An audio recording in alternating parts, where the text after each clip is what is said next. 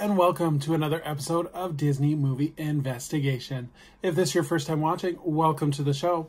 In each episode, we take a look at a movie that is featured on Disney Plus. On this episode, we're taking a look at a direct to video sequel as we take a look at Aladdin and the Return of Jafar. And stay tuned for our bonus story as we take a look at the history of Aladdin's Oasis. And if you are enjoying these videos, I do ask that you please hit that subscribe button. That way you'll be notified with each new episode. Now, sit back and enjoy this episode of Disney Movie Investigation. So like I said, today we are looking at Aladdin and the Return of Jafar. Uh, this was a direct-to-video sequel, and it was released on May 20th, 1994. It was directed by Toby Shelton, Tad Stones, and Alan Zasloff. Uh, it was written by Kevin Campbell, M. R. R. Mirith J. S. Colao, Bill Motz, Steve Roberts, Dev Ross, Bob Roth, J. Jan Strnad, and Brian Swenlin. So a lot of writers there.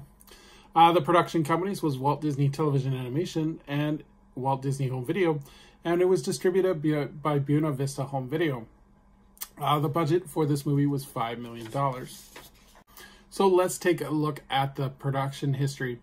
Uh, so after the success of The Little Mermaid, the animated series, uh, Disney did continue to develop other animated TV series to create the Disney Afternoon. Uh, before the theatrical release of Aladdin, Di Disney commissioned Tad Stones and Alan Zasloff to develop a direct-to-television project that would help transition a film into a TV series.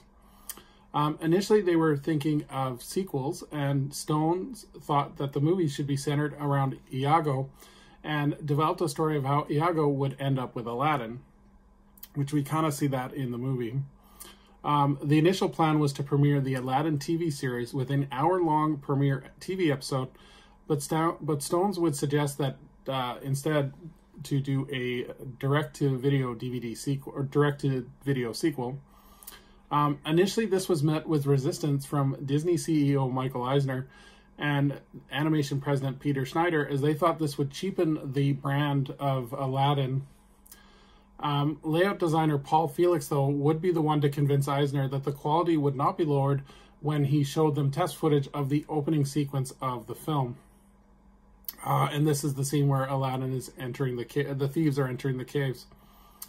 Um, the first half of the movie would be animated in Australia, while the second half of the movie would be enter would be animated in Japan the role of the genie would also be recast as they as Robin Williams had a previous falling out with Disney management over his use of his voice in marketing in the original Aladdin. Um, Tad Stones would claim that Robin Williams was involved in the recasting decision, and he was the one that selected Dan Castellaneta to reprise his role. Um, so let's take a look at the cast that we do get. Uh, so we had Scott Wa- Wagner, who returns to voice Aladdin. Brad Kane provides Aladdin's singing voice. Dan Castellaneta does the voice of the genie. Uh, Gilbert Gottfried returns as Iago. Uh, Linda Larkin as Jasmine. Uh, Jason Alexander provides the voice of Abis Mal. And Jonathan Freeman as Jafar.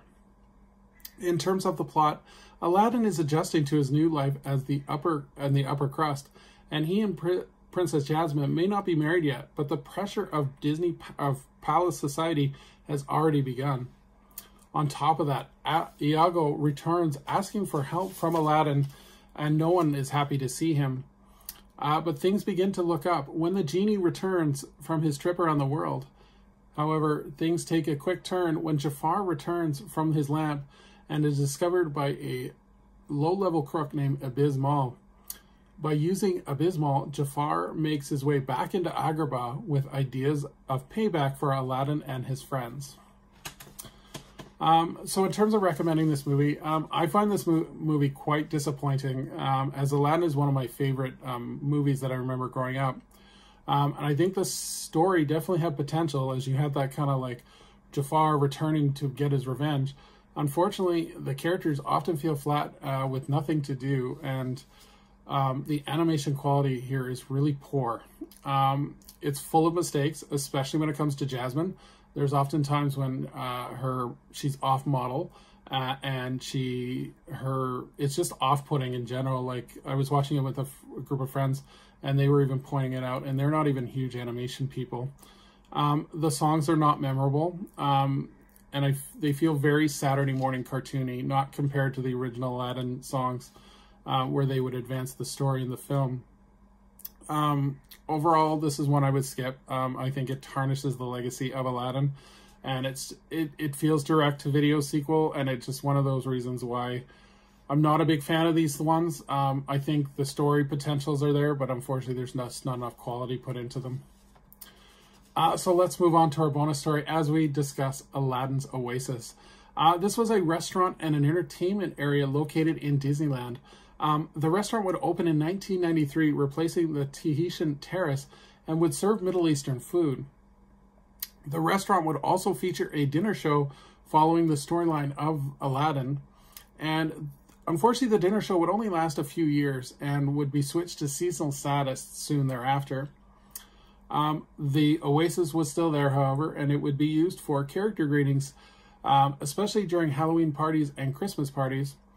Um, the venue would see some life again going back to serving food, but was limited to, to a nighttime show uh, with dining, patch- dining packages, um, or they could be used as uh, food to go. A lot of this was used as Fantasmic dinner packages, uh, so uh, you could have the dinner at, uh, at the Oasis, and then you could go and get a special seating at Fantasmic. Um, in 1997, the venue went back to character meet and greets. Um, so it would be used for Christmas parties and Halloween parties again. Uh, in 2008, the venue saw again new life as it was used for an Indiana Jones and the Secret of the Stone Tiger dinner show. Um, they used the same set as the Aladdin show, so it was kind of a cost-effective move. And this was around the same time when they were promoting uh, Indiana Jones and the Kingdom of the Crystal Skull. Um, the storytelling for Aladdin's Oasis would uh, operate seasonal, with their last performance being in 2017. On February 23rd, 2018, it was announced that Aladdin's Oasis would be replaced by a new restaurant called the Tropical Hideaway. So I've never actually been in there. Uh, I've actually, sorry, I've been in there for uh, character greetings and stuff like that, but I've never actually eaten in there. Um, from the pictures I've seen, it is seems like a cool place, and it was kind of a nice tie-in to Aladdin uh, during the height of its popularity in the early 90s. Uh, so thank you so much for joining us here on another episode of Disney Movie Investigation. I would invite anyone to please leave a comment below on what they think of Aladdin and the Return of Jafar, as well as if you were able to have uh, that dinner show at Aladdin Oasis. I would love to know of your experience.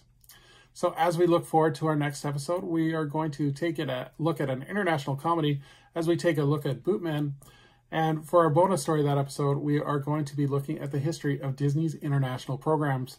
So until next time, I hope you have a magical day, and we will see you real soon.